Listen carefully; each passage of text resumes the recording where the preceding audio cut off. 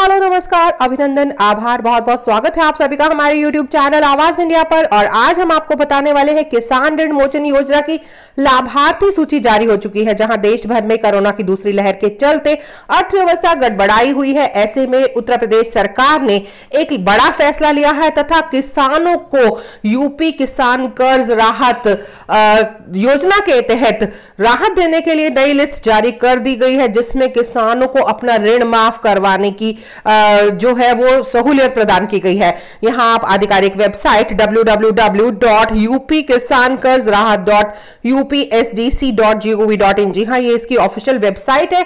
यहाँ आप देख सकते हैं, इसी वेबसाइट के ज़रिए ही आप अपनी किसान कर्ज माफ़ी की लिस्ट देख सकते हैं तथा इस लिस्ट में केवल उन्हीं किसानों का नाम जो है वो डाला गया है, जिन्होंने ऑनलाइन आवेदन किया हुआ है।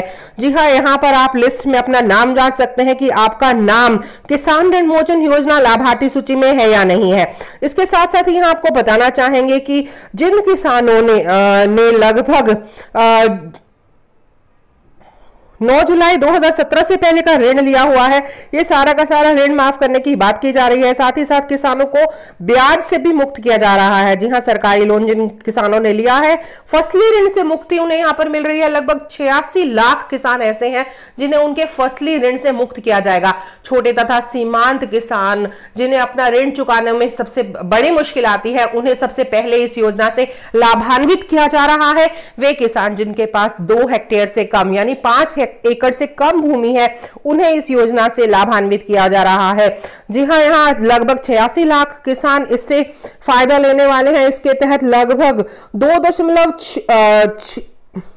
तिरसठ लाख छोटे और तथा सीमांत किसानों को लाभ पहुँच रहा है तथा इन्हें ब्याज में भी छूट मिल रही है यहाँ पर। जी हाँ। तो इस योजना के ज़रिए किसानों को आत्मनिर्भर बनाने आ, का प्रयास किया जा रहा है। उत्तर प्रदेश सरकार की ओर से वे किसान जो अभी तक इस योजना के ज़रिए आवेदन नहीं कर पाए हैं वे भी अब ऑनलाइन आवेदन कर सकते हैं। ऑफिशियल वेबसाइट के बारे में हमने आपको यहाँ पर बता दिया है।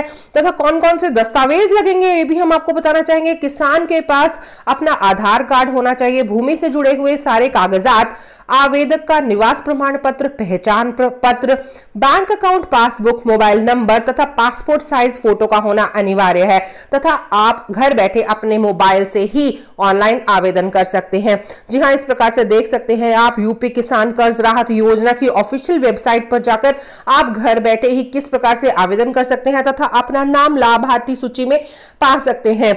जी हाँ दोस्तों, इसके साथ साथ यदि आपकी सुनवाई नहीं हो रही है तो आप अपनी शिकायत भी यहाँ पर दर्ज करवा सकते हैं।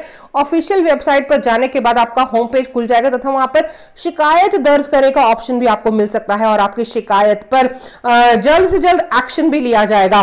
तो दोस्तों, यदि ऐसे बुरे समय में, जी हाँ पूरा देश जहाँ आर्थिक तंगी से गुजर रहा है, कोरोना की दूसरी लहर के चलते आर्थिक जो अर्थव्यवस्था है, पूरी गड़बड़ाई हुई है, ऐसे में यदि आपकी सुनवाई नहीं होती है तो किसानों को यहाँ पर पूरी की पूरी जिससे कहेंगे कि अधिकार दिया जाता है उन्हें कि वो अपनी शिकायत दर्ज करवा सकते हैं।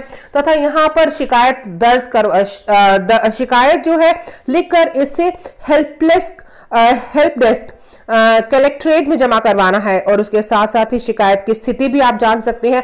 आपकी शिकायत पर तुरंत एक्शन लिया जाएगा और इसके साथ साथ ही आपको अपने पेज में पूछी गई पूरी की पूरी जानकारी जैसे कि अपना मोबाइल नंबर कैप्चा कोड आदि भरना होगा इसे सबमिट करवाना है तथा तो आपके सामने आपके आवेदन की स्थिति आ जाएगी। तो दोस्तों इस प्रकार से आप देख सकते हैं कि सरकार ने किस प्रकार से किसानों को मदद की है और आ, किसान कर्ज माफ़ी। जी हाँ उत्तर प्रदेश किसान कर्ज माफ़ी में बहुत सहायक सिद्ध हो रही है ये योजना।